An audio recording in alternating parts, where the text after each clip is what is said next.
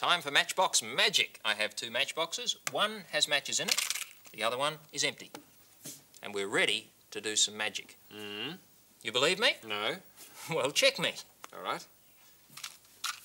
That one has, well, it does have It matches. does. And the other one is absolutely That absolutely one is, yes, it's absolutely Absolutely. empty. All right, I shouldn't have done I it. You can make on. the matches jump from that box, the one with the matches in, to the empty one with one magic word. Right. Are you ready to watch? Mm. Okay, are you ready? Abracadabra! And now the matches are in that box. Let me show you.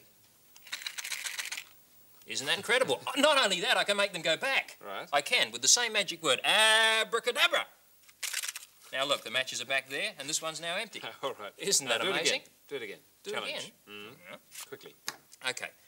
Matches in that one, nothing in that one. Abracadabra. Now that Right. one has the Now, matches. hang on, let's check this out. you heard the There's something badly wrong. I don't hear a thing, and I don't see anything. Hmm. Just, uh, give us your hand. I think he's got something up his sleeve, yes? Caught. A loaded matchbox. Mm. What a cheat. Try it on your friends. See you next week.